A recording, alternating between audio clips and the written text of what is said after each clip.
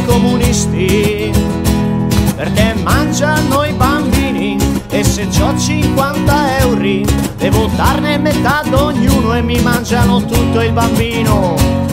Non mi piace andare in giro con i neonazifascisti, perché fanno i cori contro i negri e finiamo sempre a botte e se non ascolto il capo vado a casa con le ossa rotte. Non amo neanche andare fuori coi democristiani perché devo pregare e pagare da bere ad un hippie cappellone di nome Gesù Cristo, ma io non l'ho mai visto e chissà mai se esiste.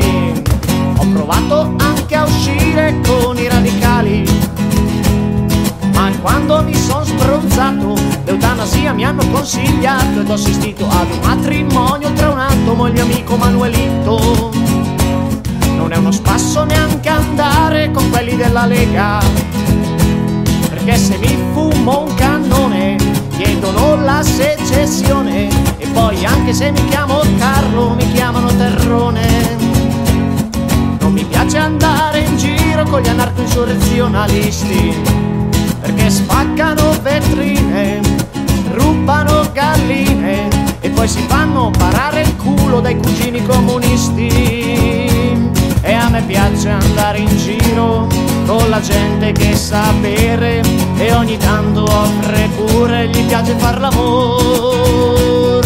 E a me piace andare in giro con la gente che sa bere e ogni tanto offre pure, gli piace far l'amor.